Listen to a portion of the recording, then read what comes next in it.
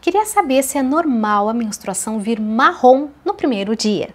Sim, é normal. Por que, que isso acontece? Vem um pequeno sangramento e esse sangramento é escuro, é marrom, conhecido também como borra de café.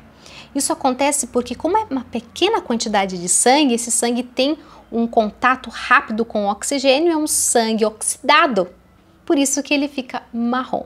Ele pode durar aí até os, os três primeiros dias, né? Fica ali só melando, calcinha sujando é importante você sempre estar tá com um protetor ali de calcinha, porque não dá para você ficar com um absorvente grande, né? Porque vem só um pouquinho, fica só sujando. E não é considerado o primeiro dia da menstruação, sabia disso? O primeiro dia da menstruação é quando vem aquele fluxo intenso. Quando vem aquele fluxo intenso e na coloração de vermelho vivo intenso. Daí esse você deve então marcar o primeiro dia. Quando vem antes, só essa, né, esse sangue amarronzadinho, pouquinho sangue, você nem, não deve considerar ainda como menstruação, tá bom?